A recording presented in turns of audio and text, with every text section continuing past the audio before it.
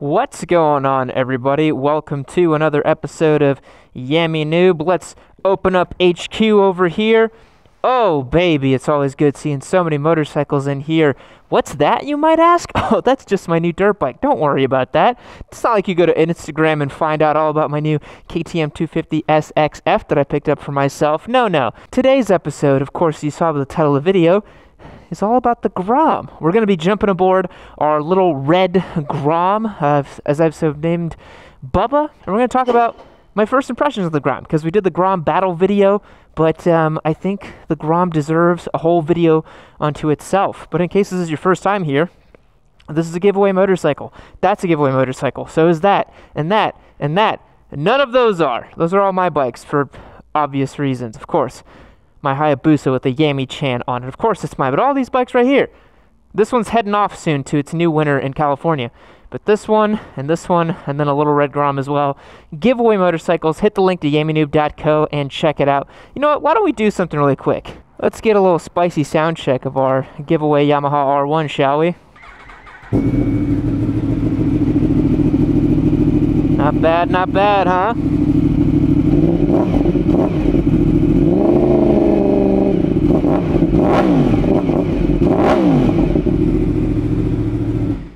Pretty good. But of course, the star of today's show is this cute little red Grom. Let's jump on it, let's talk about it, and let's discuss this motorcycle. So, what is the Grom?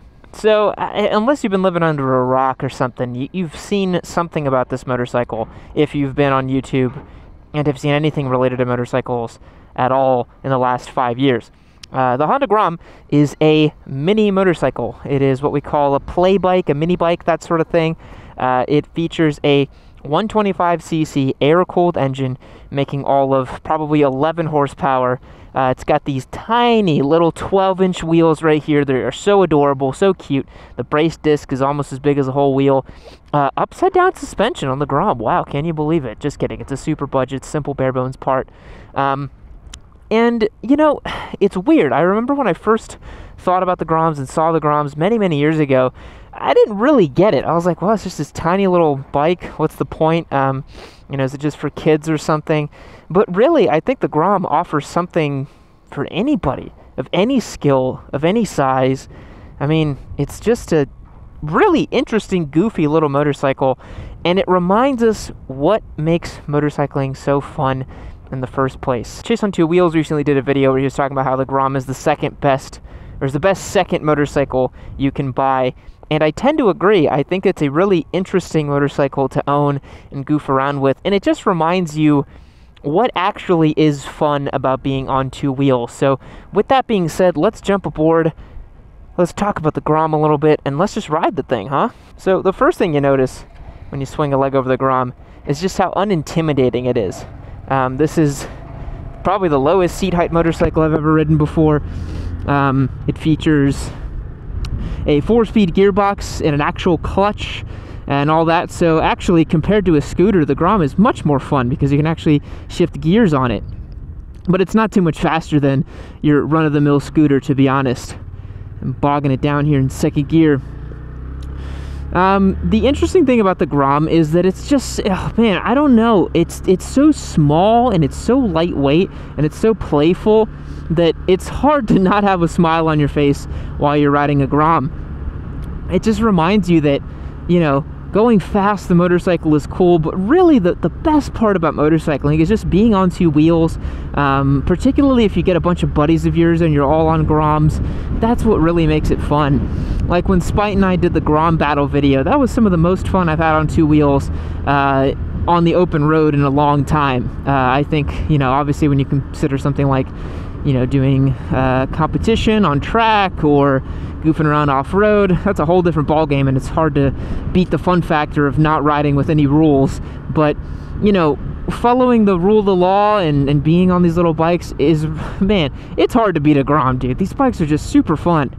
I think they're really cool too if you want to get a bike that you want to have in your stable to teach someone else how to ride. Man, I mean, the Grom is the most simple and the most effective way to teach someone how to ride a motorcycle. I, I, it would be difficult to imagine a situation in which someone rides a Grom and they get themselves into trouble. Uh, it's a really simple little motorcycle to ride, and it's incredibly friendly. Uh, probably given its size and its weight. Again, this thing weighs like 240 pounds, which is only 10 more pounds than my dirt bike, which is crazy. Uh, so it's incredibly light and nimble. It flicks over side to side, super nice. Uh, and it just reminds me of, you know, riding a little 125 in Brazil or something like that, or just having fun and goofing around. The Grom is just low stakes fun. And something happens when you ride a Grom as well. Uh, you start to see the world a little bit differently. You know, when you're on a, a big motorcycle, like, you know, anything 300, 400cc and above, you wouldn't do certain things, right? Like, you wouldn't try certain things with them, you wouldn't dare take them in certain places, but you know, with the Grom, it just seems like everything. The, the, world is like your playground almost. You know, it's like there's there's like no real rules when you're on a Grom. Certainly, there are still rules. You, you know what I mean? But I, don't know why. But when I'm on a Grom, I just I just want to explore. I want to do silly things with it. And when you take away the acceleration and the speed and the weight from a motorcycle, all you're left with is something simple and fun. And I'm of the opinion that if you ride a Grom and you're not having fun or you can't find the value in riding a Grom, I don't know if you're a real motorcyclist, honestly, because um, they're just so playful and nimble. Um, it's like a little puppy, you know? Uh, how can you not like a puppy? who, doesn't like a puppy? They're great. The Grom to me is exactly that type of ride. You just want to try stuff with it. I don't know. You just want to go and explore. Like I've never been over here in this parking lot, and I'm just kind of looking around now. It's it's interesting. And that to me is what really brings the Grom home. It just provides a novelty factor. It just, because it's so small and lightweight and diminutive, it really provides a novelty of experience in, in all capacities, right? Like the fact that it's so small means that it's novel. The fact that you're going to do stuff with it that you wouldn't do with a normal motorcycle makes it novel, you know?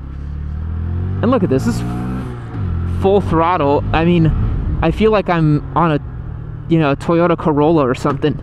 Oh man, I just cased it. Whoops. Forgot the Grom does not have long travel suspension in any way. Oops.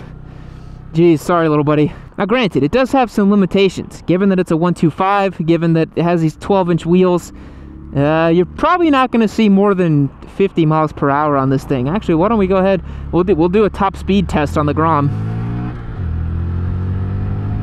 Okay three gears and we're doing 40 miles per hour, I think. About to hit top speed here, fourth gear. What do we got, little Grom? What do we got? What do we got? 52, 53, 54, 54. So yeah, I, I can't really go much faster than that on this thing. And again, it, it, imposes limitations on you. It makes you be like, okay, well, if I can't go faster than 50, I can't take any highways. Or if I if I have a suicide, I could take. If I have a suicide wish, I could take some highways. But um, it, it really changes your whole perspective on riding. It really changes everything that you want to do with a motorcycle. And I think it's one of those bikes where you have to ride it to understand it. I, I can tell you all day long about how different and unique and interesting this motorcycle is, but until you ride one, you won't get it. And I didn't get it until I rode one. Many, many years ago, a buddy of mine picked up a Grom, and I went over to his place, and we were getting ready to go out for a ride. I was on my Daytona, he had his FZ09, and he was like, dude, I got this Grom. And I was like, whoa, that's crazy, it's so small. And he's like, take it around a, uh, a ride around the block. So I jumped on it, took it for a quick spin, and I was like, wow, this is so fun. This is so stupid and goofy, and I, I just loved it, you know? Did I love it enough to own one myself? Probably not. Um, even though I think Groms are interesting, the type of riding that I like to do is much more, uh, I guess, extreme and competition focused like I, you know, my number one activity on a motorcycle is going out to a track day, going out to races, participating in CMRA events with my Daytona, uh, running our endurance Ninja 400 that we have. Um, those are things that I love doing on a motorcycle. And recently as well, with my new KTM uh, 250 SXF, very lovely motorcycle. You know, climbing rocks and jumping over stuff and popping wheelies. It is a bit of an extreme experience. the Grom is just low stakes. It's low stakes fun. It's just super goofy and silly to ride around town. And I think everyone just has a smile on their face when they see you rolling up on the Grom. Because it's just so goofy. You know, it's a, tiny little motorcycle. So yeah, would I own one? Probably not. It's just, it's not. Uh, the thing is, I've only got one butt, you know? And between the giveaway bikes and all my personal bikes, uh, there's just not enough butt time or seat time to really appreciate a Grom, you know? It's whisper quiet stock. Oh my god, I can barely hear it. It's so funny, like pulling the throttle and like nothing's happening. it's, kind of silly. I think one thing you have to keep in mind as well is even though the Grom is, uh, you know, a really fun, goofy motorcycle, uh, it is priced at three thousand something dollars, I think, thirty two hundred bucks or something like that. So literally, and, and I, I say this with uh, a grain of salt and trying to be polite to the Grom, but this is the, the worst feeling motorcycle I think I've ever ridden in my life. It is unbelievably vibrational. The clutch feel is trash. The gear selector is trash. The throttle feel is trash. The brakes are trash. like, basically everything on this motorcycle sucks. Like, I'm not gonna lie. But again, if you approach it that way, you're doing it all wrong, man. You're approaching a Grom in all the wrong ways if that's what you're thinking about when you're on it. You're like, oh, I don't have throttle response, I don't have good clutch feel, I don't have brakes, this and that. You're coming at it all wrong, man. You gotta approach the Grom and love it for what it is. It's a tiny little stupid mini bike that you can do dumb stuff with. That's what it's for. And I think every motorcycle can benefit from being approached in that perspective, you know? You come at it from like, okay, like what am I going to use this thing for? You're like, okay, if, you know, for example, the R1, I'm going to take it out on track. I'm going to rip fast slaps with it. I'm going to try to use all the electronics it has, this and that. I would never rate and review a Grom in the same way that I would rate and review an R1 because it obviously doesn't make any sense. Much in the same way that I wouldn't review an R1 in the way that I would review a Grom. I wouldn't turn to an R1 and be like, oh my god, it's just, it's so boring to ride on the street. I mean, I have said that, but I wouldn't say, oh, it can't do parking lot circle wheelies and it can't, uh, you know, I don't feel like it's playful at low speeds. It's like, well, yeah, it's, it's not supposed to be, you know? It's not meant to do that. It's meant to be, uh, you know, intercontinental ballistic missile. That's what it's meant to do. Oh, that's the horn. It is still very strange being on a, uh, being on a motorcycle and having the throttle and clutch and overall shifting feel, I literally feel like I'm driving a Toyota Corolla or something. Like it's just, like it literally, it only, it redlines at 8,000 RPM, you know, it barely revs, and when you shift it goes, you know, oh, please don't turn, please don't turn. Oh my God, thank you. Left-hand turners, man, you always gotta be careful. But yeah, bopping around city streets like this, on to Grom, man. Yeah, I think everyone deserves to ride a Grom, but you have to level set your expectations. You gotta understand what the thing is for, you know? And you gotta understand that it, I think it's very difficult for a Grom to be your only motorcycle. Um, just because it is so extreme in one direction. And I remember talking about this in a vlog where I was like, you should try to own a couple different motorcycles that all excel in different categories, right? Like, if you own a track bike. Maybe you want a, a touring bike to keep for to go on long trips. Maybe you want a dirt bike. I personally think that having three or four motorcycles that all do very, very different things is how to have the most fun with motorcycling. Uh, I think the Grom is a little bit too much of a one-trick pony to be your only motorcycle, to be honest. it literally it literally clunks into the next gear like an economy car god damn, man, this thing's such a pile of garbage, but in the best way, you know? It's just a Grom, it's a little mini bike. One of the coolest things about the Grom platform as well is, I mean, people have been modifying these and changing them around ever since they came out. I can't even begin to tell you the aftermarket scene for these motorcycles. It's nuts. I know that people go crazy with modifying these things. Yeah, anything you want to do to a Grom, someone's probably already done it. I, I think it's very difficult to find a mod you want to do to a Grom that someone hasn't already done or thought of. Like I saw a Grom one time with the Panigale engine in it. Um, I'm sure it'll probably shred the swing arm to bits when it actually gets on the power, but the fact that it exists makes me very happy, you know? Brings me great joy. So one thing that's interesting about the Grom is because it's so small, because it's so lightweight, and it's because it's on these tiny little wheels and tires, um, it flicks over from side to side, probably like nothing you've ever ridden. Um, it is the fastest flicking little motorcycle you've ever experienced. Like it just pew, pew, pew, pew. It's really interesting. I do feel a little silly being completely geared up riding this Grom, but um, I do practice what I preach. ATGATT, right, boys? Gotta remain at GAT. Sometimes I think that there's something wrong with it because it's so slow, and then I just realize that nope, it's just that's that's just the engine. Um, it is it is an unbelievably slow motorcycle. I think teaching someone how to ride on a Grom is a great thing because it's got this low seat height. It's unbelievably approachable. If you drop it, you can literally pick it up with one arm. Um, it's so light.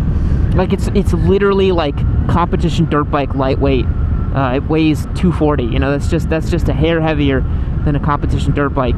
Um, so it's unbelievably lightweight, easy to ride.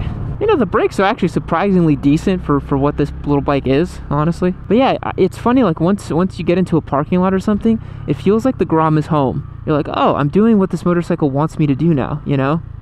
Like I'm just gonna go in circles, ride as slow as I can. I'll go the other way. So I'm on a Grom and nothing really matters. I mean, literally, first gear, I'm whacking it wide open, open and closed. There's very few motorcycles that are that forgiving, guys. so if you're trying to learn how to ride a motorcycle, man, find someone with a Grom and it will just be the easiest thing you've ever done. It's it's incredibly simple. Like even mid-corner, you could be so ridiculously aggressive with it and it will not spit you off. Look at that. I'm like stabbing the throttle while I'm turning here. Any other motorcycle you try that with, you would have been bucked off immediately. Try that with an R1, see how it goes. Let me know. But all the fundamentals are here, you know? Going from left to right, side to side, it's it's all the same, right? Because like the fundamental dynamics of riding a motorcycle don't really change when you go from small to big. It's why, you know, all the kids who are ridiculously fast by the time that they're 12, they all practice on mini motos when they were like two or three years old. You know, they've been on two wheels since they were little tiny babies, basically, you know? And it makes sense because if you understand what a motorcycle does at any given speed, especially low speeds, you know, it'll definitely set you up to understand what it's going to do at higher speeds. Now, that's not to say that just because you're a parking lot warrior, it makes you a MotoGP star, because that's certainly not the case. And I actually really disagree with people that think that. Um, I think that just because you can ride a motorcycle slowly in a parking lot does not mean you are a track day star or a racer. Is the, those those two skills, while they are related, are not 100% transferable. Uh, so please, guys, do not think that because you're dragging knee in a parking lot, that you can go out to your favorite track and, and shred, you know, lap record times because you will not be able to do it. you will not. You will not. Those skills are not transferable. Yeah, but yeah, I can ride over here on the sidewalk if I want to. Just cruise around here with this little Grom. I mean, you could just do whatever you want with it, man. It's such a unique motorcycling experience. Truly, truly unique. And unlike a scooter, this is still a motorcycle. It's got a clutch, it's got gears, it has a throttle that turns. It doesn't have some thumb throttle or, you know, it doesn't have anything weird like that. Um, you're not sitting on it like a scooter or something. You sit on it like a real motorcycle. Um, so that, that gives it tons of cred, in my opinion. Now, I have to whip a U-turn up here because that's the feeder road for the highway, and that is not where I want to be with my Grom. Try to bust a little Yui up here. Just got to make sure no one's coming in over here. Yeah, we're good.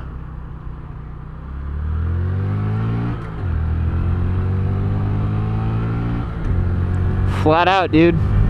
Only way to do it on a Grom, baby. For what it is, it actually picks up decent speed. 11 horsepower, getting me to 50 miles per hour. That's pretty impressive. So yeah, overall, the Grom is a garbage motorcycle in every sort of measurable, scrutable way. Throttle feels crap, clutch is crap, brakes are crap, gearbox is crap, no power, sucks, you know?